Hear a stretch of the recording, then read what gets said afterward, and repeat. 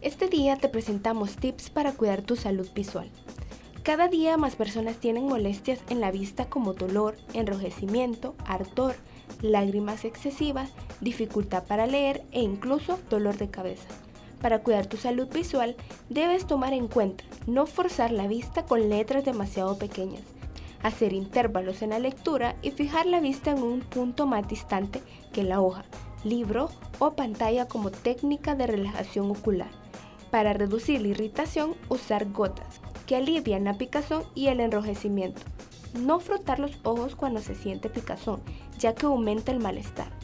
Para las personas que usan lentes, siempre deben ser recetados por un profesional y es conveniente realizar un chequeo anual.